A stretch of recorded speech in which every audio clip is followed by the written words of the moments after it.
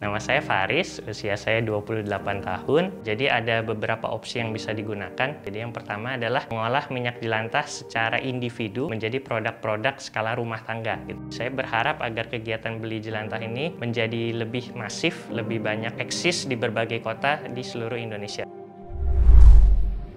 Jadi minyak jelantah itu adalah minyak goreng bekas pakai memasak. Sebagian besar minyak jelantah yang dihasilkan baik itu dari sektor perumahan dan juga sektor restoran dan hotel adalah dibuang akhirnya mencemari lingkungan perairan.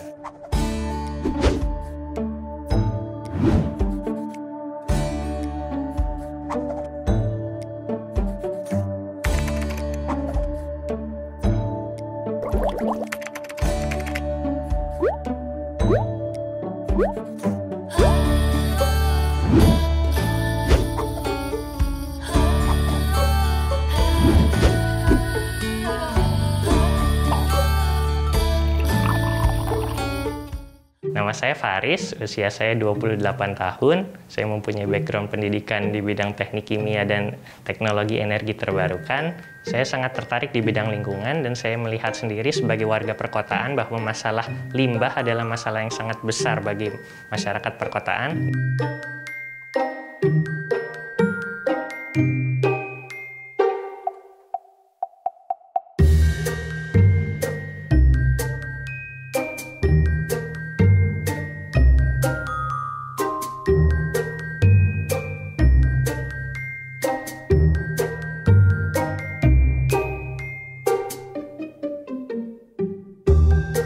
Jadi ada beberapa opsi yang bisa digunakan gitu ya. Jadi yang pertama adalah mengolah minyak jelantah secara individu menjadi produk-produk skala rumah tangga gitu. Yang pertama bisa menjadi sabun cuci piring gitu ya atau sabun batang.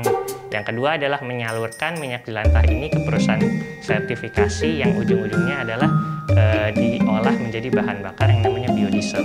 Jadi ada beberapa opsi yang memang bisa digunakan ketika minyak jelantah yang digunakan sudah dihasilkan. Selamat pagi ibu-ibu, semoga semua dalam keadaan sehat. Mungkin ibu-ibu uh, pada masak menggunakan minyak goreng mungkin ya pasti setiap hari gitu ya. Dan kita melihat nih hasil-hasil uh, minyak jelantahnya gitu ya. Uh, hasil penelitian menyebutkan bahwa satu liter minyak